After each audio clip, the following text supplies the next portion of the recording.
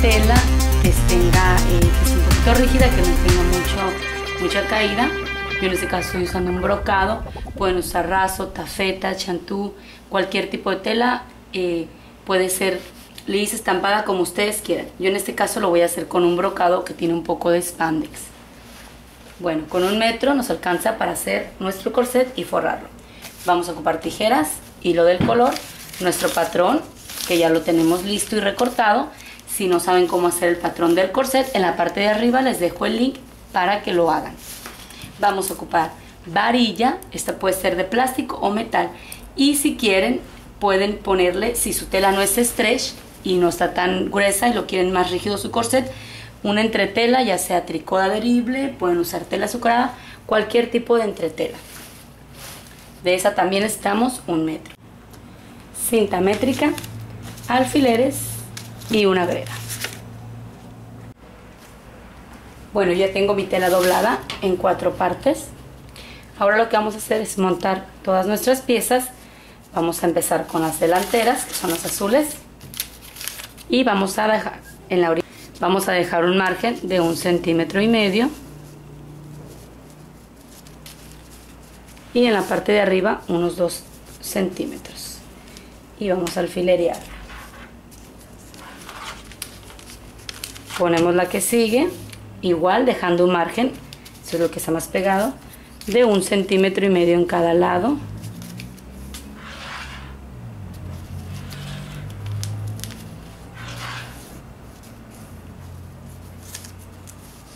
Y un centímetro y medio en la parte de abajo. En la parte de arriba hay que dejar dos centímetros. Y el costado, el hilo del otro igual, que quede un centímetro y medio en cada lado. Si no les cabe esta pieza, porque sus piezas estén un poquito más grande o su tela más angosta, hay que ponerla en la parte de abajo, ¿no? Y hacemos lo mismo con la parte de atrás. Vamos a empezar con el trasero número 1 y vamos a ponerle alfileres, dejando aquí sí vamos a dejar un margen de centímetro y medio y arriba hay que dejarle un buen margen para los dos bastillas, para los dos espacios, tanto el de arriba como el de abajo. Vamos con la pieza número 2 dejamos margen también.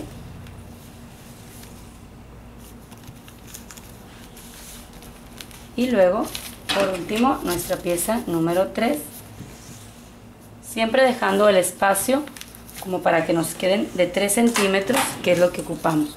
Mínimo un espacio de 3 centímetros. Ahí está 4 aquí tenemos los 3 ahora lo que vamos a hacer es marcar con nuestra greda todo nuestro margen de centímetro y medio, todo el contorno de nuestro corset. Estamos dejando esto de margen para poner nuestra varilla. Si no van a poner varilla, con un centímetro está bien. Eh, y en mi caso, como es stretch, yo voy a dejar un centímetro. Lo voy a dejar un poquito más pequeño. Pero lo normal, cuando es tela que no estira, es un centímetro y medio para darle espacio a nuestra varilla la parte del escote también centímetro y medio. En la parte de enfrente centímetro y medio si van a poner varilla. Si no van a poner varilla en esta parte la pueden dejar con un centímetro. Todas las piezas donde le van a poner varilla hay que dejar centímetro y medio y donde no le van a poner vamos a dejarla de un centímetro. En la parte de abajo vamos a dejar también centímetro y medio y eso vamos a hacer con todas nuestras piezas, tanto delantero como trasero.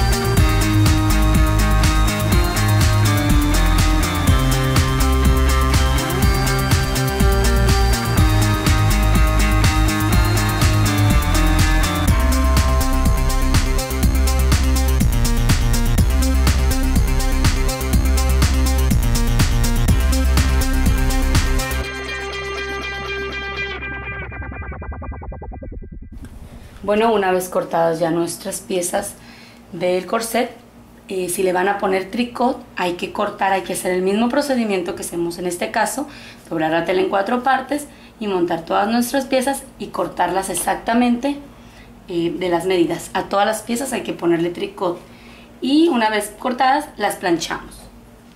Yo en mi caso no le voy a poner tricot porque quiero que me estire un poco.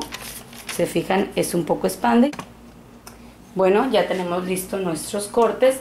Ahora para a la hora de confeccionar, no perdernos con las piezas, vamos a hacer una muesquita en las uniones.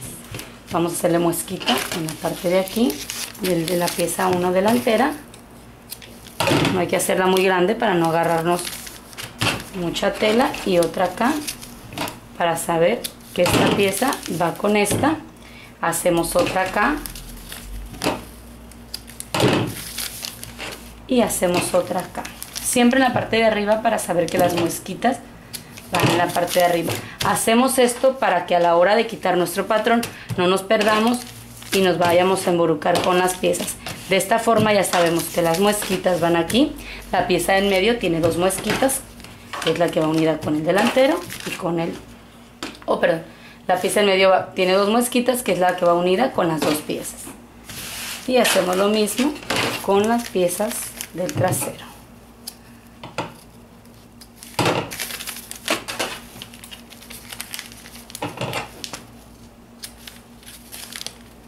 No importa que no les queden a la misma altura, no es para que les casen, es simplemente para no perdernos a la hora de confeccionar. Bueno, una vez hechas nuestras muesquitas, ahora sí vamos a armar nuestras piezas. Voy a comenzar con el delantero. Recuerden que tenemos cuatro piezas de cada uno. Voy a quitar el patrón. Tenemos cuatro piezas de cada uno de nuestros de nuestros cortes esto es porque tenemos dos del delantero o dos perdón del derecho y otros dos de nuestro foro vamos a guardar nuestras piezas y lo que vamos a hacer es alfilerear si no tienen mucha práctica hay que alfilerear todas nuestras piezas antes de confeccionarlas vamos a alfilerearlas para saber que estaba con esta. Eh, siempre eso es para que no nos perdernos porque estas piezas nos podemos embrucar mucho, nos podemos perder y las podemos poner volteadas y ya nuestro patrón ya y ya nuestra prenda ya no nos va a quedar bien.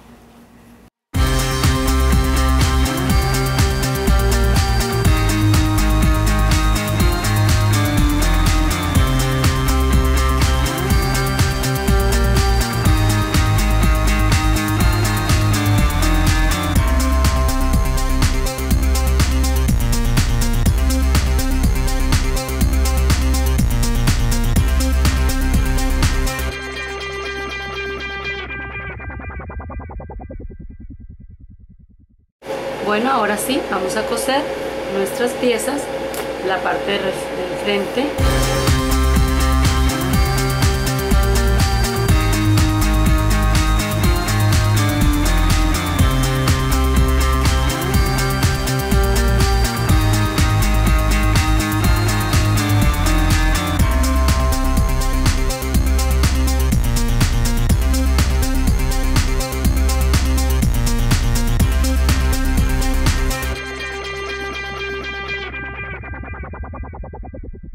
Bueno, ya están unidas nuestras piezas. Una vez unidas hay que plancharlas muy bien con la costura abierta, tanto por el revés como por el derecho. En la parte del busto hay que poner una almohadilla para poderle dar muy bien la curva, plancharla muy bien. Ya tenemos planchado todas nuestras piezas. Aquí está el trasero. Recuerden también a la hora de pegarlos que no se les vaya a perder. Por ejemplo, este tipo de tela que es muy parecido el derecho y el revés, eh, tengan mucho cuidado a la hora de armarlos, ya que muchas veces nos pueden quedar muchas piezas de este mismo lado. Entonces tienen que encontrarse bien las piezas, ¿no? A veces nos quedan todas las piezas del mismo lado porque no, no supimos diferenciar el derecho del revés. Bueno, en este caso aquí está ya esta parte de atrás. Ahora lo que vamos a hacer es unir los costados. Este va aquí en el costado y este en el otro costado vamos a hacer lo mismo tanto con el derecho